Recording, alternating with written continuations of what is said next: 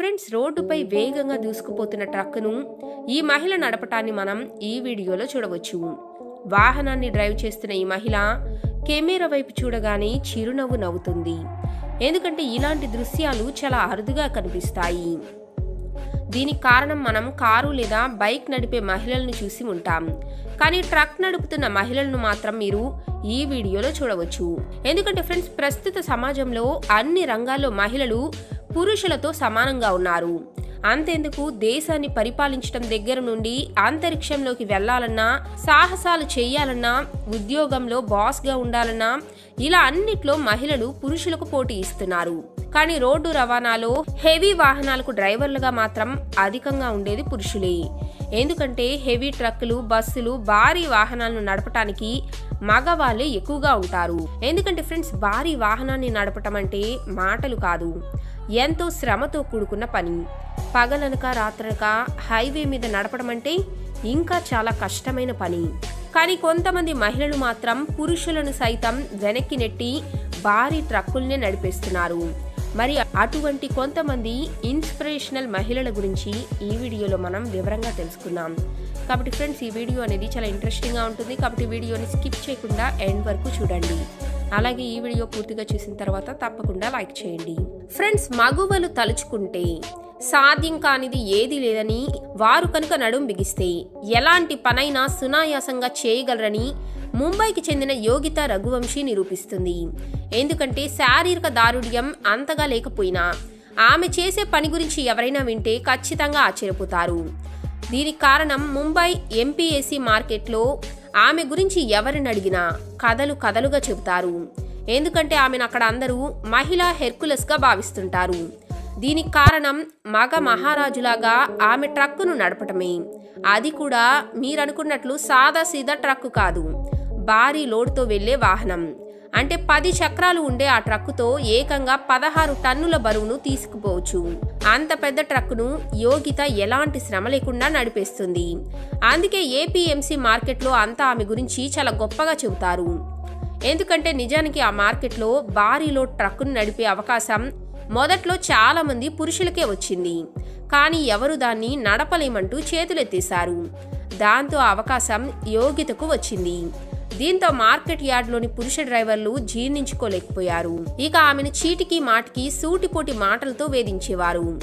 ఎందుకంటే కుటుంబం అంతా పట్టెడన్నం తినటానికి ఏదో ఒక పని చేయాలి కాబట్టి యోగిత ఈ విషయాన్ని పెద్దగా పట్టించుకునేది కాదు. తనను వేధించాలనుకునే వారిని కూడా బయ్యా అంటూ ఆప్యాయంగా మాట్లాడేది. దాంతో వారిలో మార్పు వచ్చింది.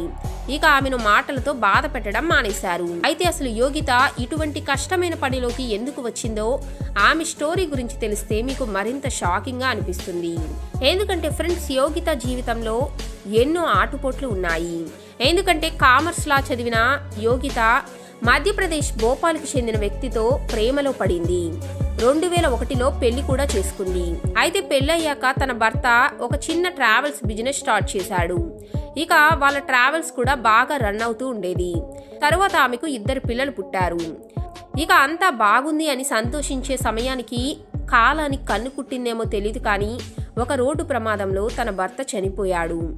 ఇక ఇంటి బాధ్యతలు మొత్తం యోగిత మీదే పడ్డాయి. తన లా పూర్తయినప్పటికీ కేసులు లేకపోవడంతో ఆర్థికంగా ఎన్నో ఇబ్బందులు మొదలయ్యాయి. ఇక లాభం లేదనుకొని పిల్లల్ని చదివించటానికి తానే స్వయంగా స్టీరింగ్ పట్టుకోవాలి అనుకుంది. ఎందుకంటే తన భర్త దగ్గర ఉన్న వాహనాలను డ్రైవర్లను పెట్టి నడుపుతున్న ఆ డ్రైవర్ల నిర్లక్ష్యం కారణంగా కొన్ని వాహనాలకు యాక్సిడెంట్స్ అయ్యాయి. ఇక అందుకే తానే శిక్షణ తీసుకొని డ్రైవింగ్ చేయటం మొదలుపెట్టింది. ఎందుకంటే యోగిత డ్రైవింగ్ మొదలుపెట్టేటప్పటికి మన దేశంలో ట్రక్కు నడిపే మహిళలు ఎవరూ లేరంటే మీరే అర్థం చేసుకోండి. దీంతో యోగితకు ఇది ఒక పెద్ద ఛాలెంజ్ అని చెప్పుకోవచ్చు. అంతేకాకుండా అప్పట్లో ఎన్నో విమర్శలు అవమానాలు కూడా ఎదురయ్యాయి.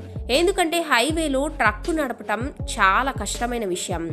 రాష్ట్రేతర ప్రాంతాలకు వెళ్ళాలంటే రాత్రులు కూడా ప్రయాణించాలి.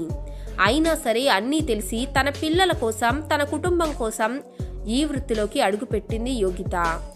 అయితే కొన్నిసార్లు డ్రైవింగ్ సీట్లో తనని చూసి అందరూ ఆశ్చర్యపోయేవారట. ఇక కొంతమంది అయితే ఆమెను ఆపి మరీ అభినందిస్తూ ఉండేవారు. అయితే మొదట్లో ఆమె కొన్ని ప్రాంతాలకు మాత్రమే తిరిగేది. తరువాత దేశవ్యాప్తంగా గూడ్స్ రవాణా చేయగలిగే స్థాయికి చేరుకుంది.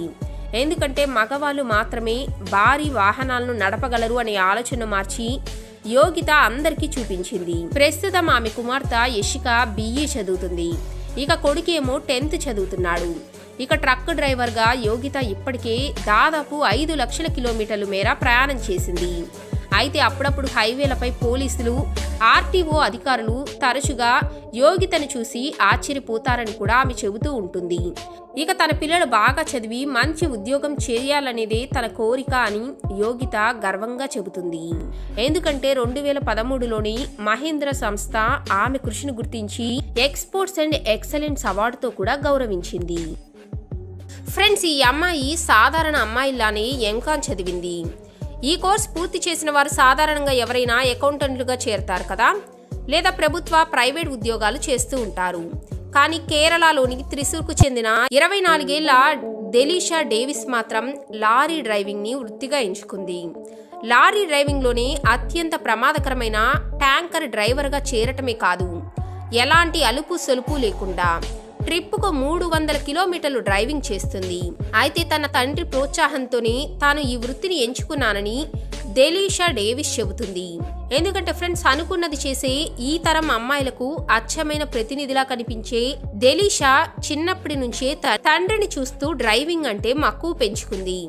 ఇక ఆమె తండ్రి పిఏ డేవిస్ లారీ డ్రైవర్ కావటంతో దేలీషా ఎప్పుడూ డ్రైవింగ్ విశేషాలే అడుగుతూ ఆ దిశగా ఆసక్తి పెంచుకుంది.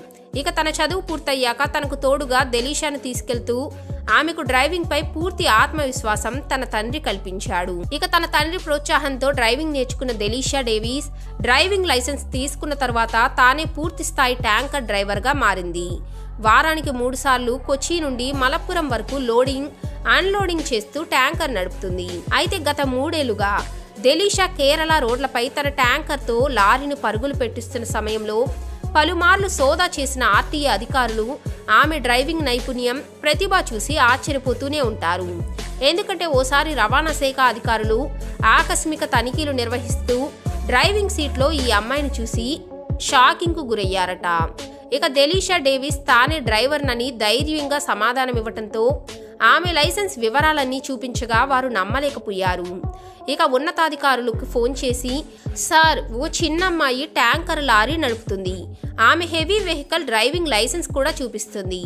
ప్రమాదకర వస్తువులు రవాణా చేసే లైసెన్స్ ఇతర అనుమతి పత్రాలు చూస్తుంటే ఆశ్చర్యం కలుగుతుందని ఆమెకు ఫైన్ వేయాలని ప్రయత్నించినా ఏ కారణంతో వేయాలో అర్థం కావటం లేదని మొరపెట్టుకున్నారట.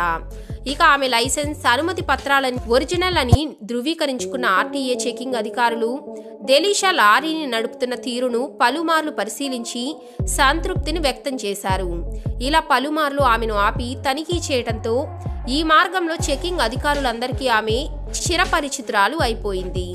ఇక రవాణా శాఖ అధికారులు ఆమె వాహనం కనిపించగానే అభినందించి వీఐపీ ట్రీట్మెంట్ ఇస్తూ వెంటనే ఆమెను పంపించేస్తారు. ఇక దెలీషాను తన చిరకాల స్వప్నం ఏమిటి? ఎందుకు ఈ వృత్తిలోకి వచ్చారని ప్రశ్నిస్తే మల్టీ యాక్స్లో వోల్వో బస్ నడపాలన్నదే తన కళ అని చెబుతుంది. దీనికోసం ప్రత్యేక లైసెన్స్ కోసం ప్రయత్నిస్తున్నానని ఆమె గర్వంగా చెబుతుంది.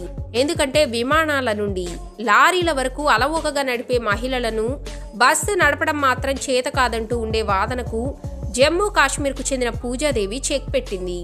ఎందుకంటే ఆడవాళ్ళు దేనికైనా సమర్థులే అని పూజ మరొకసారి నిరూపించింది.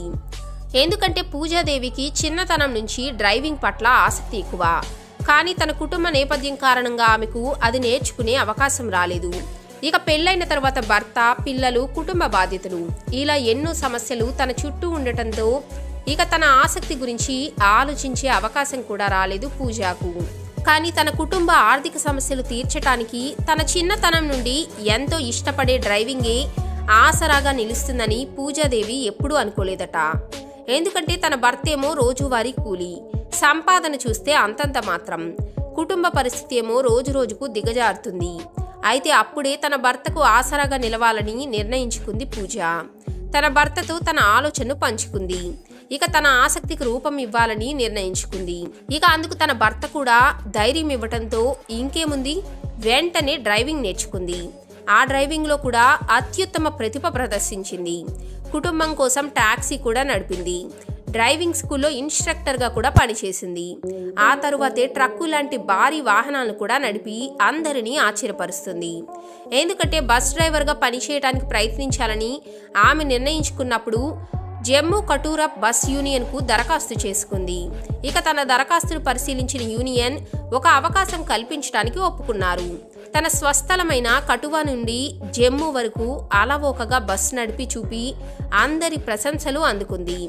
ఎందుకంటే బస్ నడపడంలో తన మెలకువలు గమనించిన బస్ యూనియన్ తనను పొగడ్తలతో ముంచెత్తేశారు. ఇక తన డ్రైవింగ్ వృత్తి గురించి ఎవరైనా తనని అడిగితే ఆడవాళ్ళు యుద్ధ విమానాలే నడుపుతున్నారు. అలాంటిది బస్ డ్రైవింగ్ అనేది పెద్ద విషయమా? అదేమన్నా తప్ప అంటూ తిరిగి ప్రశ్నిస్తుంది పూజాదేవి. నిజంగా ఫ్రెండ్స్ తమ ధైర్యంతో తమ అనుకున్న లక్ష్యాన్ని సాధించడానికి ముందుకు వెళ్తున్న ఇటువంటి మహిళలను చూసి మనం కూడా వారి ప్రతిభకు పట్టుదలకు తప్పకుండా హ్యాట్స్ ఆఫ్ చెప్పి తీరాల్సిందే కదా. మరి మీకు కనుక ఈ వీడియో నచ్చితే తప్పకుండా లైక్ చేయండి. అలాగే మా ఛానల్ని సబ్స్క్రైబ్ చేసుకొని పక్కనే ఉన్న బెల్ బటన్ కూడా నొక్కేయండి.